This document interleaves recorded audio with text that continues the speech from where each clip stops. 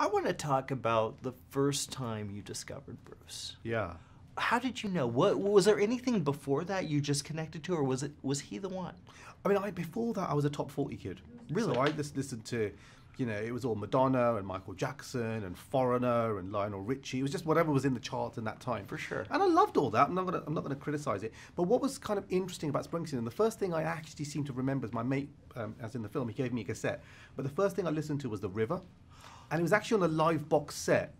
And in the live box set, Springsteen doesn't even start singing. He starts this long story about growing up and his dad. I'm like, I'm pretty sure Lionel Richie's never done this. Like telling these like long stories. And I was thinking, this is amazing. This is a guy just talking to his audience. And then the river starts. It's like, I come from down in the valley where Mister, when you're young, they bring you up to do just like your daddy done. I'm like, this is like a little short story. And I kind of wanted to know what happened to the character next. So given that this was, you know, given that I was somebody that was listening to pop music, Yeah. this was just next level. And then I started listening to him. I was just like, man, this guy's talking about working in factories. He's talking about parents and fathers and sons. He's talking about friendship. Nobody talks about friendship in, in, in songs, you know, Bobby Jean and, and that sort of thing. Yeah. So I was just like, this guy is different.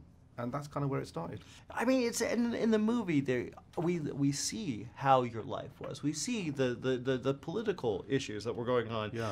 I, it must be so strange to revisit that and relive that, and especially in the world we're living Should I in you today. something really interesting? It is Yeah. really bizarre. Now, there's a scene in the film, you know, where um, somebody uh, pees through the letterbox Yeah. of, of, of, of, of somebody. That actually happened to Roops.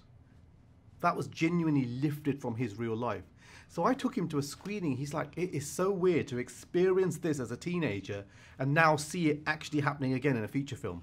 So that was crazy. The other thing is, um, there was a cafe that we used to go to, in fact, we still go to, called Greenfields in, in, in Luton. And so when Gurinder was looking to um, scout locations, I said, why don't you just go to Greenfields? We went. Luckily, they haven't changed a thing since 1987. So the scenes with Javed and Roops take place in the very cafe where not only did we used to go, but we still go. So I was in Greenfields watching Viveik and Aaron sitting in the seats that me and Roops actually sit in, saying words that I wrote about things that we used to talk about oh at the, in the same room. I mean, how weird is that? This is the strangest thing ever. I know. I mean, it, it, it, It's mind-blowing. That's amazing to Yeah. me. Now, and, and now you and Bruce are friends. I mean, I mean, this is the weird thing, right? I mean, like, it doesn't really matter who your hero is, but imagine you go and see someone and they're on stage and you see them multiple times and you love them, yeah? And they're on that stage and you're like one of a crowd. Mm-hmm.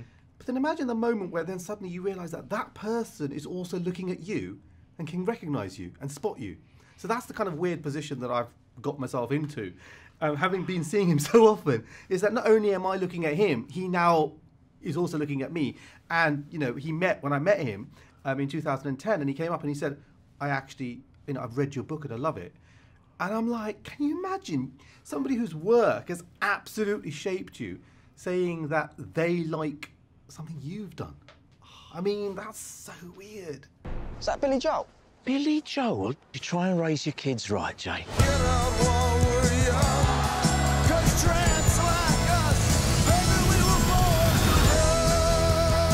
Sings about not letting the hardness of the world stop you from letting the best of you slip away. My hope is to build a bridge to my ambitions, but not a wall between my family and me. Purpose of your visit? I'm going to see Bruce Springsteen's hometown. I can't think of a better reason to visit the United States than to see the home of the boss. Traps like us, baby, we were born to run. Did you write that? I've told you before your lyrics are rubbish. That didn't even rhyme.